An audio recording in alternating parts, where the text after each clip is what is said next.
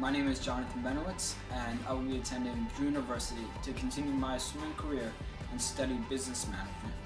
I would like to thank my parents, my brother, my coaches, and my teammates for helping me to get this great opportunity.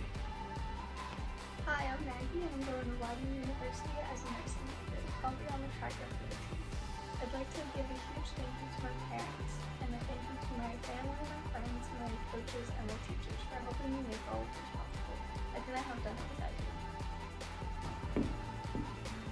Hi, I'm Brianna Smolinski, and I will be going to U of UMBC, University of Maryland, Baltimore County, to play Division One basketball next year.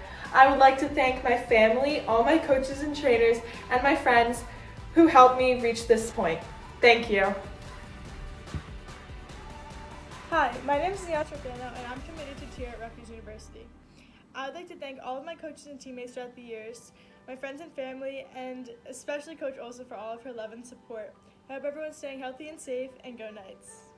So first of all, I'd really like to thank my family, my parents and my sister, and I would also like to thank my friends and my teammates, my friends for always having my back and always supporting me, and my teammates have just been there for me. Finally, I'd like to thank all the coaches I've had in the past who have really guided me through tennis, taught me the skills I needed, and especially Coach Mangino who has just been such a huge encouragement to me and her positive energy just radiates with the whole team.